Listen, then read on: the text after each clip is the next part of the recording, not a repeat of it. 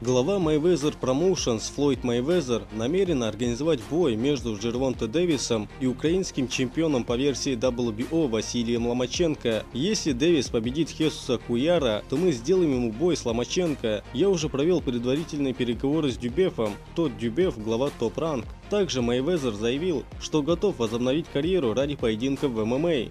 Выход на пенсию было замечательным, но как все хорошо знают, я ухожу, а потом возвращаюсь. Могу ли я вернуться опять? Да, но если это случится, то только в октагоне. Я уже говорил с моей командой, я говорил с Эллом Хейманом, и он сказал нет. Но я говорил Showtime и CBS, если у нас получится договориться с Даном Уайтом и UFC сделает мегафайт, один бой, то он может быть с Конором Макгрегором, но мы не знаем. Это может быть и контракт на несколько боев. Как я понимаю, сейчас у Макгрегора есть дела, с которыми ему нужно разобраться. Я могу делать все, что хочу, когда я хочу и как я хочу.